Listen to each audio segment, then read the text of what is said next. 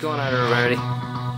Today I'm going to show you how to uh, assemble and disassemble, your Mossberg. Uh, these two particular models here, one of them is mine and one of them is not. This model here is the Mossberg 520 gauge Youth. This is the one I'm going to show you how to take it apart because it's real easy to work with. Um, and uh, it's a lot easier for me to make the video on that one than it would be uh, this one. This particular model is mine. This is the Mossberg 520 gauge. I won't go any, any into specific specifics with you. Considering I am getting some more parts for it, I am getting a rail for the top, and I also have a red dot ready to go on it as well. So I won't go into any specs on that one. That is better for a later video. Okay, let's get to this disassembly. Number one thing, I will safety check it for you. There's nothing in chamber, already safety checked it. Nothing in the mag tube. And I get this will get pumped to uh, show you that there is nothing in there. Number one thing we're going to do is uh, I keep this where I can, or my brother can uh, loosen it by hand. Some of them I like to keep my, my 12 gauge tightened with a uh, vice grips, and all you had to do is clamp them on there and give them one good turn, and they're good. But uh, all you do is loosen this. Make sure you are at half cock, meaning your bolt is halfway that halfway cocked back, and unscrew this, and your whole barrel assembly will come off. Get this loose a little bit more. Your whole barrel comes off. Here's your barrel and uh, that will come out sometimes so keep it um, under wraps. Set that to side. And I also like to keep my parts in a tray so I'm going to set this up here for uh, and then I'll show you the parts tray how how little amount of parts there is actually in the shotgun. Um, next you're going to slide this forward or I'm sorry, keep it half. I'm getting ahead of myself. And you're going to get your pin punch, knock out the pin that holds in the uh, trigger group, knock that pin out, pull it out, put it in your parts bin. Done with all the tools you need. That's it. Now you're going to pull out your trigger group. That just comes out like that. Don't just don't mess around with it and pull the trigger because that just makes it even more of a pain in the butt for you to end up putting back together. Um, and also you can see here these two cutout slots where the uh, fire selector or the uh, I'm sorry trigger group goes. That actually assists in you taking that piece. Uh, I'm not exactly sure what that piece is called, but I do know it sits on top of the bolt and the um, pump notches go on this, makes the whole unit slide so it wouldn't be in here if it wasn't important. So apparently it is very important. Don't know the exact name of it, but I know it's important. So uh, that's the next thing you're going to remove. Or I'm sorry, not the next thing you remove, but next after thing. Which the next thing, two things you're going to remove are the two. Um, you can see one there, one there. They are the shell stop and the uh, shell, the other shell stop. The the other one has a particular name, but they're both uh, assist in getting the shells in the right place for the uh, shell thing to pick up the shell and put it into the chamber. But these are the two pieces that come out of the side. One will have a notch and it will go in that hole right there. So that's how you know which side they go on. Put those in your parts bin.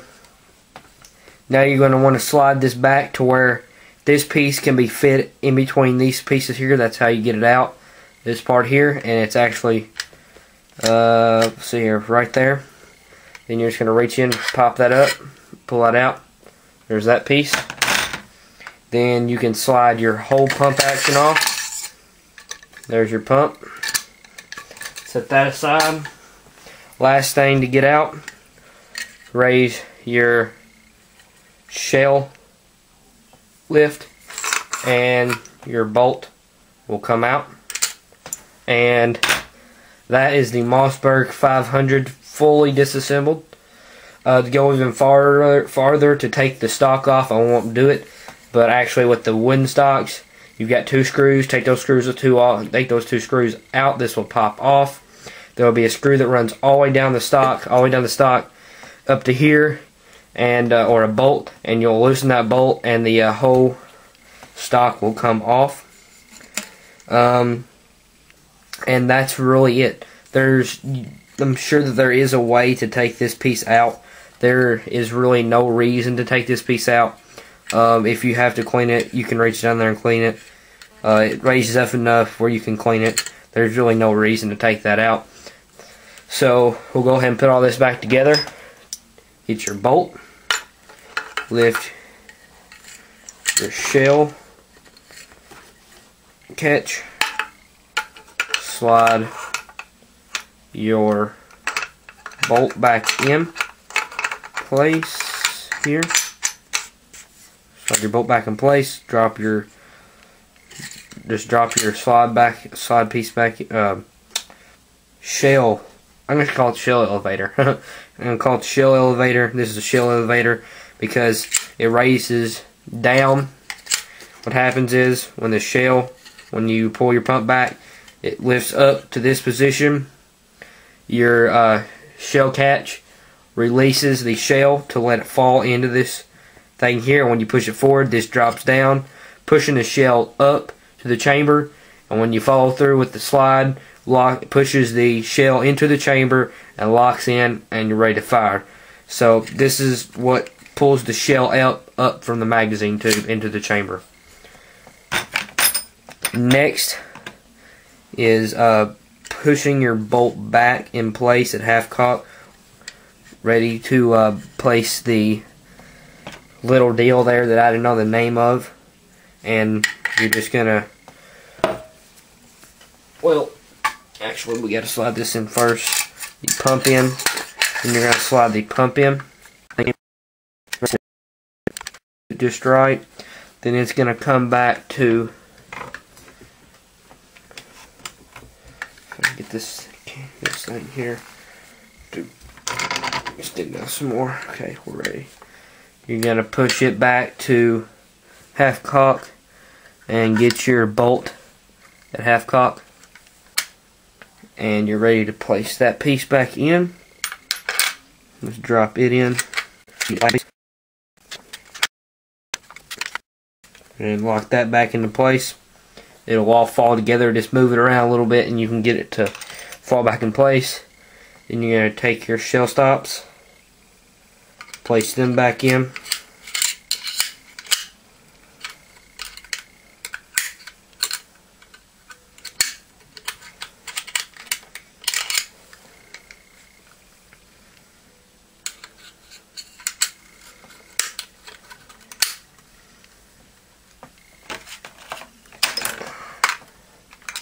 Place your other shell stop back in.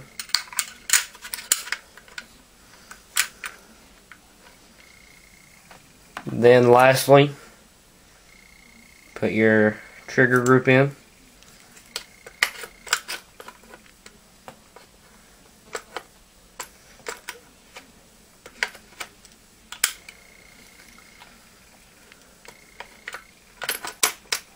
Pop that back in. Get your pin. Place it back inside.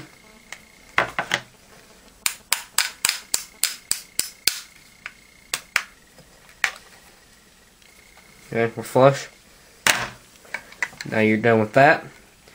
Now, what I should have done while I was doing it, but I'm just going to go ahead and add a little Rem Oil inside. Should have done it while I was in there. But can't always remember everything what you're doing in the video. But just wipe off on the outside. Um, so once you get that in, you're ready for your barrel assembly.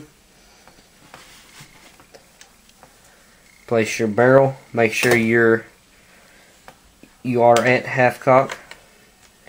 Place your barrel in. and come down. Screw your magazine, your barrel to your magazine tube. Give it a good tighten. And uh, hope you guys learned something from that video, from this video. And um, thank you guys for watching. And I will see you in the next video.